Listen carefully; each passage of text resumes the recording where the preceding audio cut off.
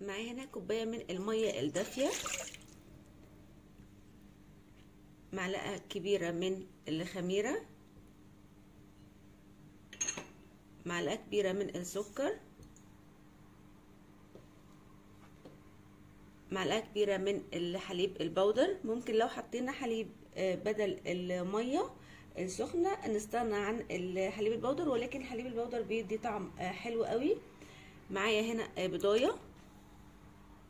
هقلب كل المكونات دي كويس جدا عشان السكر يدوب معايا.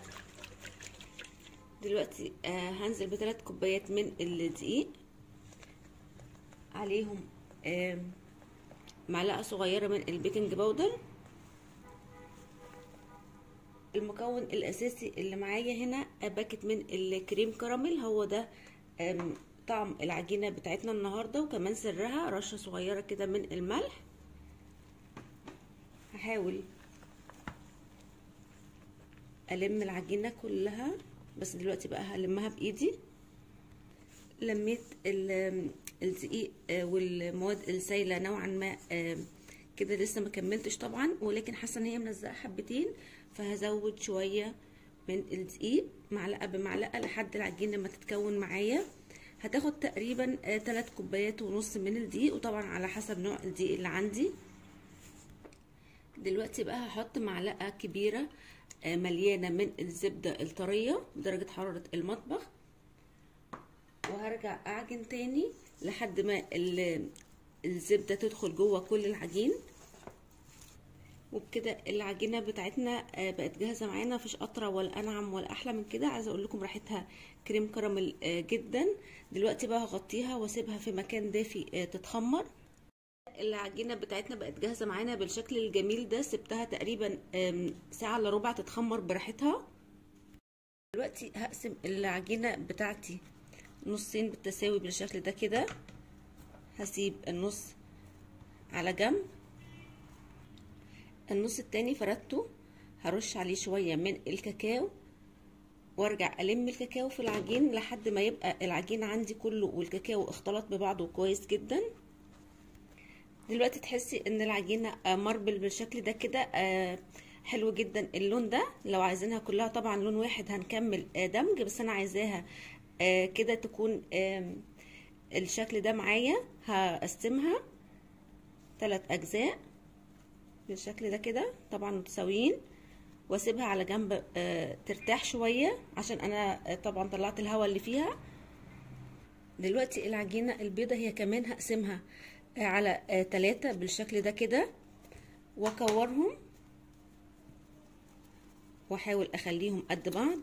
العجينة قد إيه حلوة وطرية وناعمة جدا وريحة الكريم كراميل بجد واضح جدا فيها. دلوقتي أول واحدة في العجينة البيضة هحاول أفردها بالشكل ده كده. طبعا هعملها دايرة على قد ما أقدر. مش عايزاها سميكة قوي ولا رفيعة قوي. عملت أول واحدة هسيبها على جنب بالشكل ده. هرجع بقى أعمل واحدة من الماربل. هفردها طبعا نفس حجم البيضة أو السادة. دلوقتي البيضة والبني هحطهم على بعض بالشكل ده كده. هحاول بس أخلي المقاس واحد هفردهم بس بالشكل ده.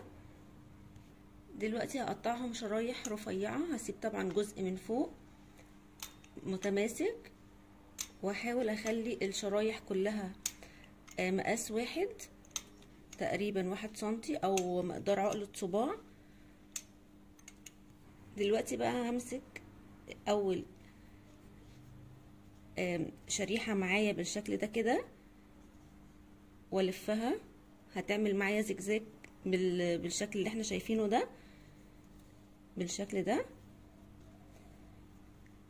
كده هحاول بس أجيبها من فوق الزجزاج وألف كده وأساعد بإيد التانية مفيش أي مشكلة خالص. بالشكل ده وأثبتها لحد ما أخلص كل الشرايح اللي معايا بالشكل اللي أنتوا شايفينه ده كده. دلوقتي لفيت كل الشرايح بتاعتي بالشكل ده كده من فوق بقى هتني عليها. طبعا لو حابين تحشوها مفيش مشكلة بس عايزة أقول لكم أصلا طعم العجينة حلو جدا جدا من غير أي حشو. هلف بالشكل ده كده. كده.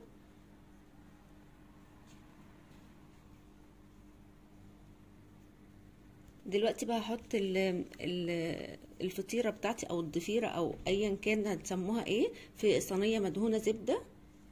دلوقتي بقى هحطها في الصينية بالشكل ده كده وأرجع أكمل باقي الكمية.